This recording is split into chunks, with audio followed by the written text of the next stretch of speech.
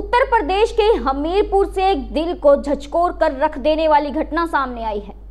कभी जिस बेटे को सीने से चिपका लिटाया था और कंधे पर बिठाकर घुमाया था, जिस बाप ने बुढ़ापे का सहारा मान के अपना पसीना बहाकर बेटे को पाल पोस कर जवान किया था, वही बेटा अपने ही बाप के खून से हाथ धोकर फरार हो गया है। वारदात के बाद ग्रामीणों में सनसनी फैल गई है। जानकारी के अनुसार किसान जगत के परिवार में सिर्फ़ अपनी पत्नी और 15 साल की एक नाबालिग बेटा अंकित सिंह ही है।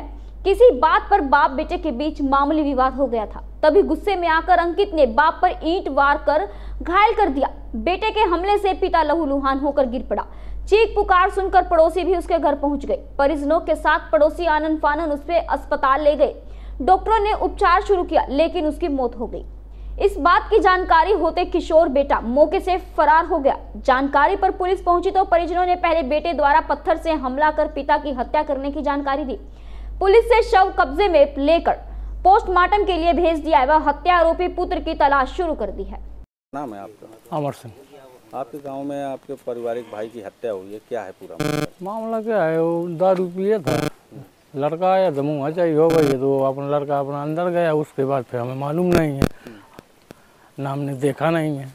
हम घर में नहीं थे। तो कैसे खत्म हो। अब पता नहीं गिर गया है कैसे क्या हुआ कि तो बता नहीं सकते ना हमने देखा। जब देखा है तो डरा था। फिर आप लोग कहाँ ले गए? भरुआ। अस्पताल ले गए? हाँ।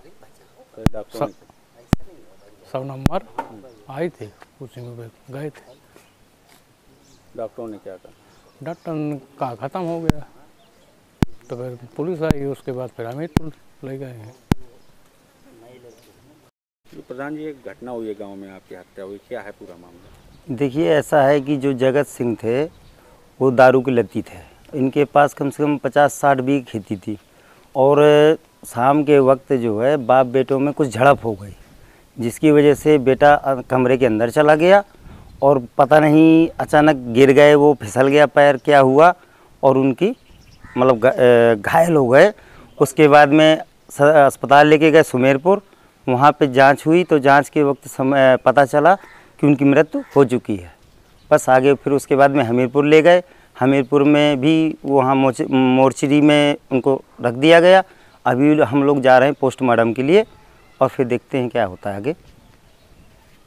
बेटे ने बाप की हत्या की है क्या देगांव में एक जगत सिंह नाम के व्यक्ति हैं उसके बेटे अंकित ने झगड़े में इसको चोट कर दी जिससे सर पे चोट लगने से उसकी मृत्यु हो गई है। पुलिस कार्रवाई कर रही है। क्या कारण था? क्यों तो घर में टोका टाकी को लेकर के विवाद हुआ था।